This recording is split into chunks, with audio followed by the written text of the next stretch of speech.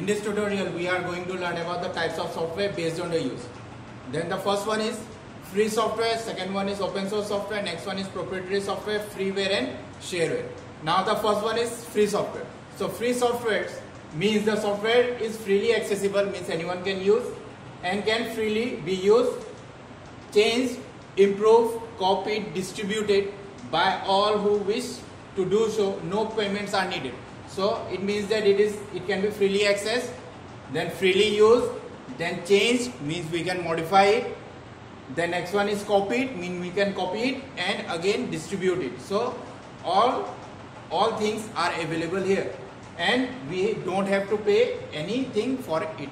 The next one is open source software. The main difference between the open source software and the free software is that for the open source software we may have to pay some fee if we want help from the uh, owner of the software. So software whose license did not impose much condition, it gives users freedom to use the software for any purpose, means uh, the user can use the software to study and modify the program, he can modify also and to redistribute the copies of either the original or the modified. So he can redistribute either the original or the modified version but it does not have to be free of cost means some part of the software is free some part of the software is paid the next one is proprietary software. So proprietary software are the softwares which are for which we have to pay money.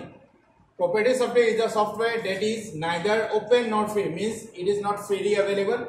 It uses a reg uh, its use is regulated and further distribution and modification is either forbidden means we cannot uh, freely use it, distribute it or modify it and requires special permission by the supplier or the vendor. So it requires special permission from the vendor or the supplier. And source code is normally not available and the source code is also not available. Like you can, uh, the, uh, the Microsoft Office is an example of one proprietary software.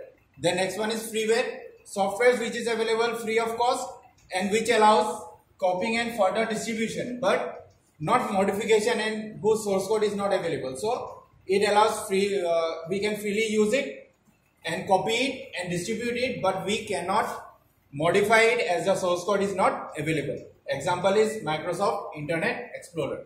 The next one is shareware. So shareware and freeware main difference is that shareware is also available free of cost but after a certain period of time a license fee should be paid. So after a certain period of time we have to pay some fee for using the software. So that's all for today. Thank you.